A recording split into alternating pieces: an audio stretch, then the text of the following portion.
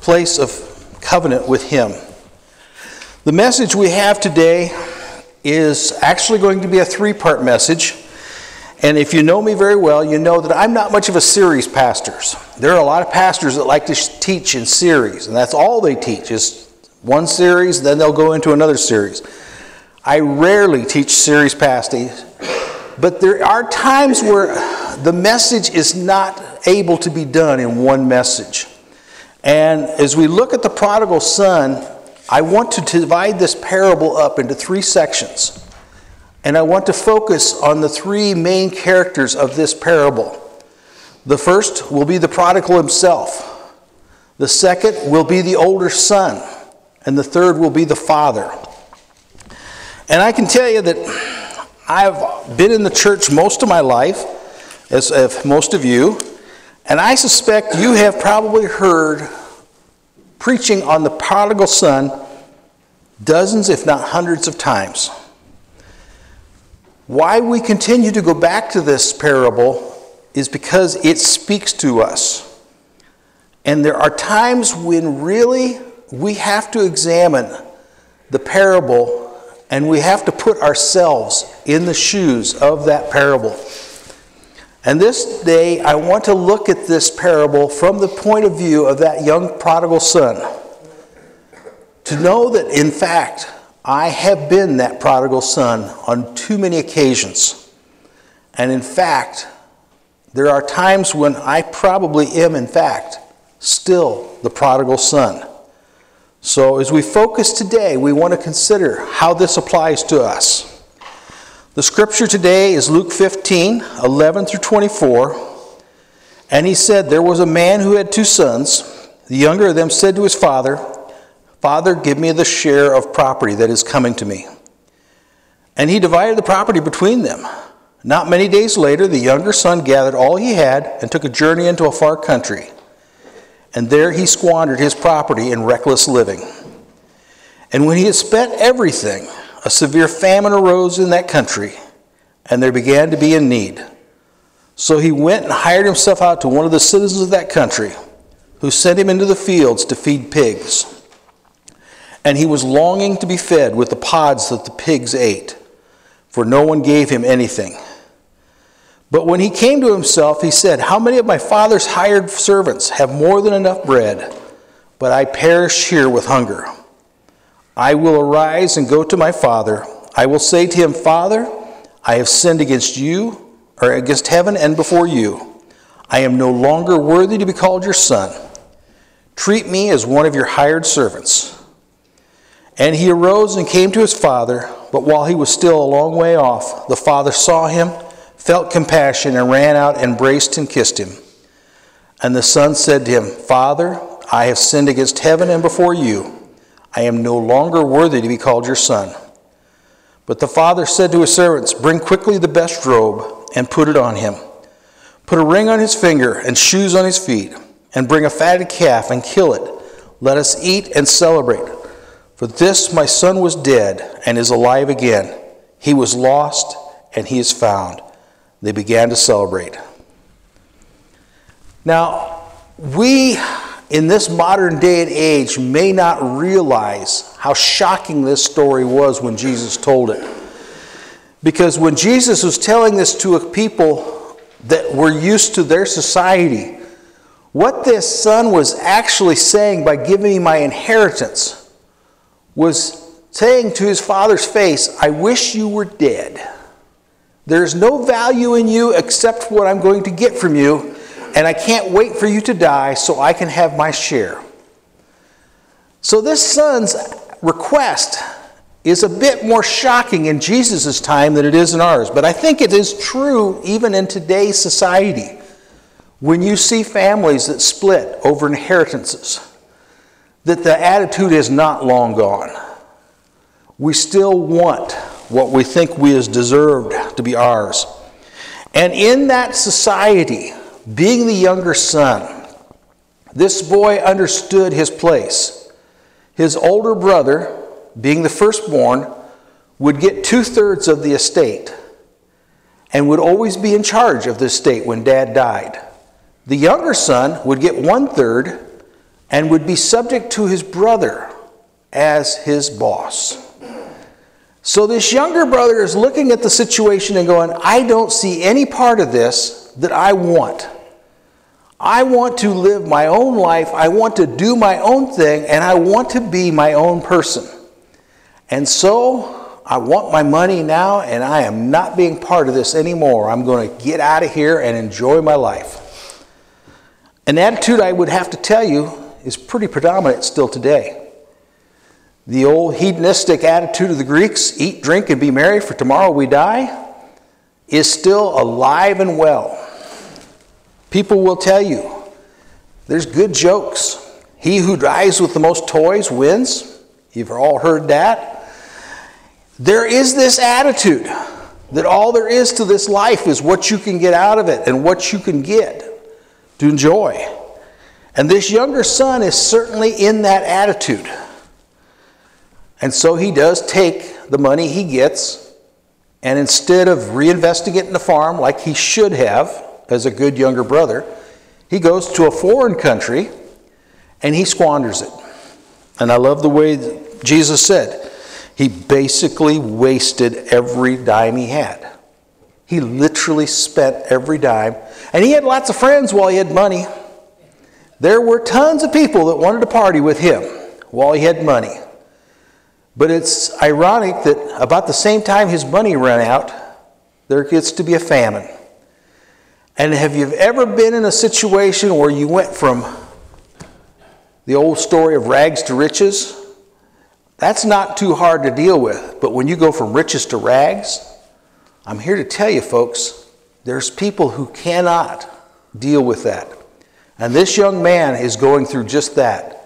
He had all the money he wanted for a brief minute, and then it ran out. And suddenly he went from being able to do whatever he wanted to not even be able to feed himself. He came into a position where he was in as low as you can get. And again, we're talking about Jesus telling this story to his fellow Jews. To you and me, I've worked on a hog farm. Dave knows what it's like to work on a hog farm. We don't see the repulsiveness of working with hogs. But for a Jew to be diminished to feeding hogs, this is the lowest place you can be. The hogs were a detestable animal to the Jews. This man is in the field feeding hogs, so he can't find a lower job. They would probably have found a sewer job higher ranking than working with hogs. And not only is he working with hogs that Jews detest, but he's feeding these hogs basically what they call carob pods. They're a tree that grows over there, and it's basically livestock food. And he's so hungry that he's looking at those pods and going, hmm, whatever those pigs don't eat, I think I'm going to eat. He's in a bad way. And I suspect that as the prodigal son starts to see reality stinking in on him, he had to question whether or not he was being punished. He was, in fact, not living a very fun life. And I love how the, Jesus points out that he came to a realization that in his father's house, even his servants ate well. And he realized, I really blew it. I have messed up. I took my father, told him I wished he was dead, and now I've squandered what he gave me, and I'm starving. So he gets this attitude that, well, I guess I'll go back, admit that I was wrong, and say, I'm no longer worthy to be called your son but will you take me on as a servant? What that prodigal is doing is saying, I'm really sorry. Now, I can tell you as a police officer, I've heard a lot of criminals tell me they were sorry. But I always had to question are you sorry that you're sitting across the table from me in handcuffs and got caught? Or are you sorry because what you did was wrong and you see what you did was wrong? There is a difference, you know. This prodigal did something wrong, and he was willing to admit he was not expecting any sympathy, he was not expecting any breaks. He wasn't going to blame it on somebody else. He wasn't going to find an excuse or a rationalization or a way to minimize what he did was wrong. He went back to his father saying, I blew it, and I don't even deserve to be called your son anymore. Hire me as a servant because I do not deserve. And in today's society, that is almost a taboo. To take responsibility for your own actions is almost impossible. Because you see, there's always a reason. It's always somebody else's fault. You know, I grew up in an alcoholic family, and everybody drank. My brothers all drank. And of course, you can sit there and go, well, it's not my fault. It's just the family tradition. Who was the country western singer that uh, I can't think of his name now? Hank. Hank Williams. You know, it's, it's a family tradition. We're just keeping up the way the family does it. That's a way of not taking responsibility for your own actions. It's like saying, well, you know, I really couldn't help myself. It just is the way we are. I can't tell you how many people I meet that are angry. They go, you don't understand. That's just the way my family is. We're angry people. We get angry. We can't help it. Well, I'm here to tell you you can. And as long as you continue to use an excuse, I guarantee you, you will not change. I can always find some reason why my sin isn't as bad as someone else's. Say I cheat on my taxes. Well, you know, I only did a little bit. And you look at these rich folks, you know they're doing a lot more. So it, it doesn't matter that I cheated on my tax. I can honestly tell you the IRS will have a different opinion of that. If they catch you cheating on your taxes, even for 25 cents, they're going to come talk to you and they're going to tell you. And you can't rationalize, you can't minimalize your sin and get right with God. The prodigal is in a position where he knows he has blown it. And repentance is what the prodigal is. And what he shows us is a perfect example. While he's in that field feeding those hogs, he is repulsed by what he has done. His words saying that I am not worthy to be called my father's son anymore says, I blew it. I took responsibility. He admitted exactly what he had done.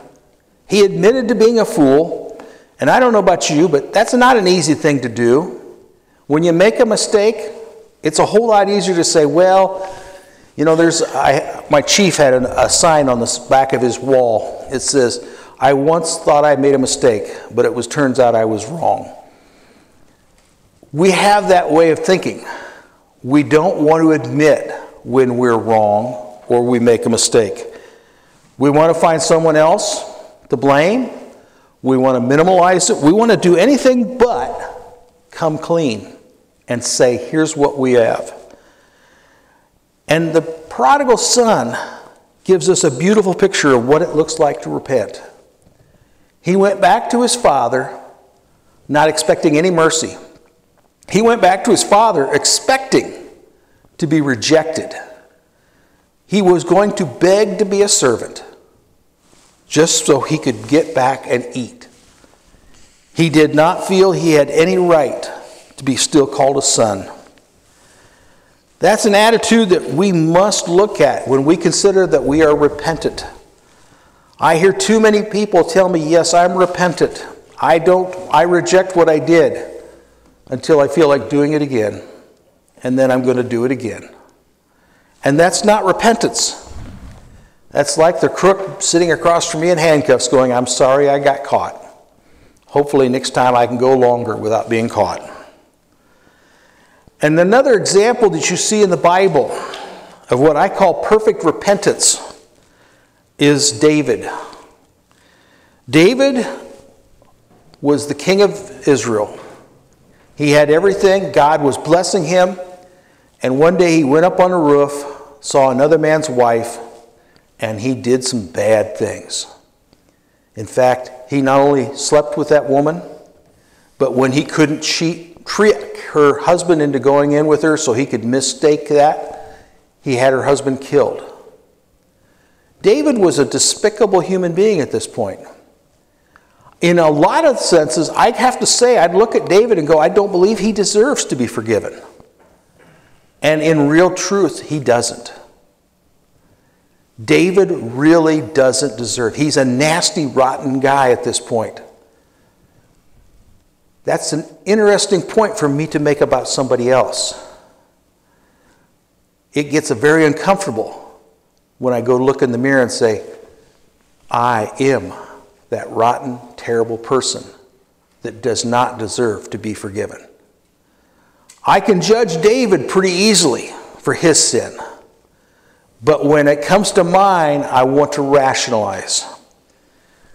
And when David was confronted with his sin, he wrote a couple of Psalms. And the one I want to read to you today is Psalms 51. And this was written almost directly after being confronted by Nathan. He is praying to God. It says, Have mercy on me, O God, according to your steadfast love According to your abundant mercy, blot out my transgressions. Wash me thoroughly from my iniquity. Cleanse me from my sins. For I know my transgressions, and my sin is ever before me. Against you and you only have I sinned and done what is evil in your sight, so that you may be justified in your word and blameless in your judgment. David is saying, I deserve death. I deserve death and he was not trying to be, mince words. Verse 5 says, But behold, I brought forth iniquity, and in sin my mother did conceive me. Behold, you delight in truth in the inward being, and you teach me wisdom in a secret heart. Purge me with hyssop, and I shall be clean. Wash me, and I shall be whiter than snow.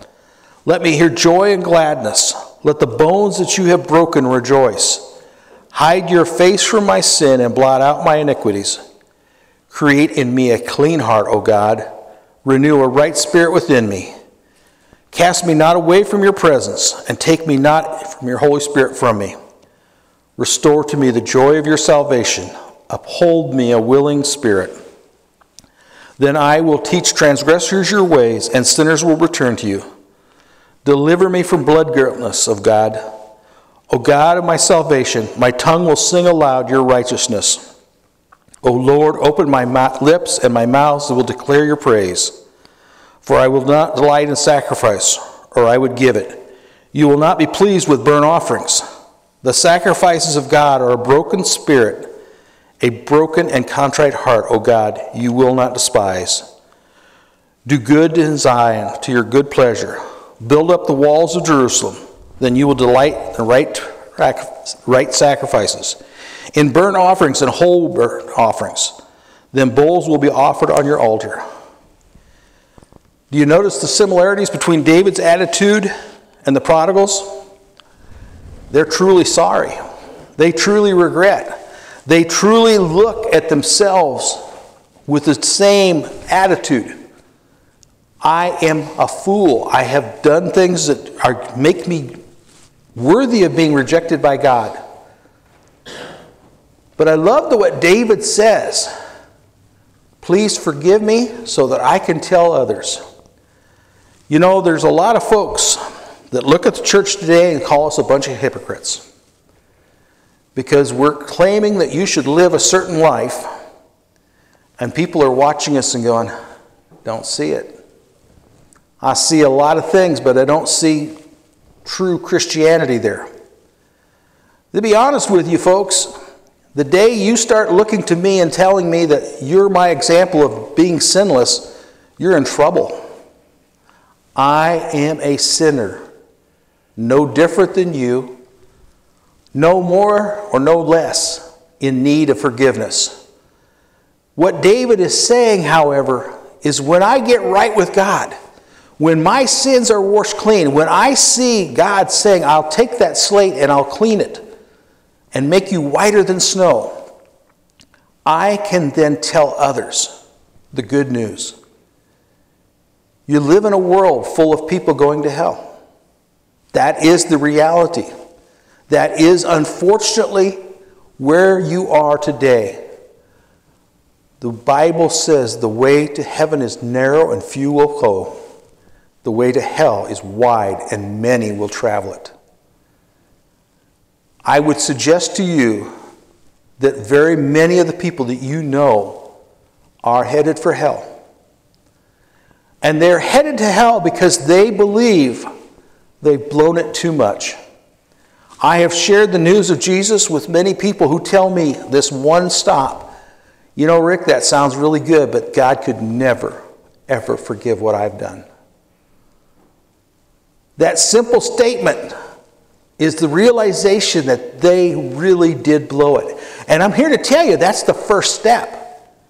Until you get to that point, until you get to a point where you say, Look, what I have done should not be forgiven. I deserve hell. Then, if you haven't accepted that, you can't accept forgiveness.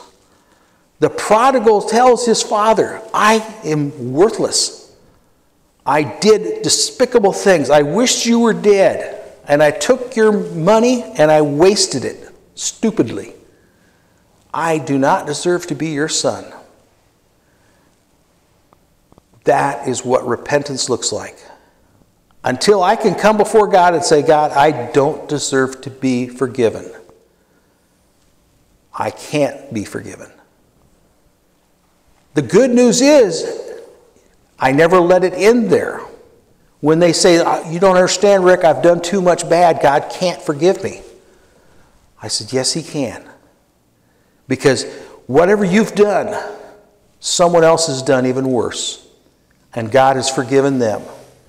We have a God who says, Come before me. Knock, and I will open the door. We have a God that desires to forgive us. And like the Father, He desires to bring us into fellowship, to restore us, to put us into a right place. David says, A broken spirit and a broken heart, God will not despise. To be repentant requires me to literally be broken. I must be disgusted by my own sin. I cannot wink and nod and say, well, you know, we all do that. It's okay because, you know, I see this other Christian doing it, so it must be okay. We have all ways of making our sins look less. And I'm here to tell you for true repentance, we, like the prodigal and like David, have to come to the reality that says, there is no excuse for what I did. I am a pathetic sinner. I have failed. I do deserve death. I do deserve punishment. At that point, my heart is broken. My spirit is broken. And my spirit is willing to say to God, I'm not coming here because I'm good. I'm not coming here with a resume saying, You see what I've done for you? How many, how many sermons have I preached, Lord? Yeah, that's got to count for something, doesn't it? No, it doesn't count for nothing. I have to come before God and say, Lord, I am not worthy to be here. I am not worthy to address you, but I do desire let you heal me, to let you take and wash me clean. And I love what David says in verse 13 because then I will teach transgressors your ways, and sinners will return to you. My friends, you will never hear a more dynamic testimony than a man or a woman who has walked away from God who has experienced true forgiveness, who has been washed clean, and then felt the cleansing of God. You cannot experience that and not want to tell others. There is no way. We talk too much today about keep your Christianity to yourself. I don't want to hear about your Jesus. My friends, this world is in desperate need of hearing about Jesus. And I'm not here to preach them a sermon about my, real, my religion or my theology. What I'm here to do is say, you know what? You're, you've blown it, haven't you? I know you have because I have too. And that means we were both damned to hell because of our sin. I am not forgiven because I'm a better person than you. I am forgiven because I went to God and said, God, I did blow it, and I want to be forgiven. There is no one out there that's beyond God's love. And I, as a Christian, should desire to be one of those people that should tell people there is hope. There is joy in repentance. There is healing in repentance. We see the prodigal son return to his father, expecting to be made a slave. And his father does what instead? He kills the calf, puts a robe and a ring on his finger. He restores him to a position that he has rejected. As a sinner, I am in that position. God called me to not sin, and yet I did. I deserve death because of my sin, and I can honestly say that there is no one out there that deserves hell more than I do. However, I can also tell you that because of God's love, He was willing to take that sin, He was willing to heal me, make me clean and pure and because of that, I can stand before God, not by my own rightness, but in humility because of His love that says, I've forgiven you. That, my friends, is a world that this world need, or this that's a word that this world needs bad. If we can't share the message of the good news of Jesus Christ and his forgiveness, then we are in fact not worthy of being called Christians. If we cannot share with a world that has no hope that Jesus Christ is hope, that He is the way, the truth, and the light, then, my friends, we need to lose the term Christian because we have failed to become and live the life He has given us. Not because we're good and holy people, not because of all the good things we've done but because we've come before our God who was willing to forgive us, we repented in true sorrow, and we were made right by his blood. Thank you.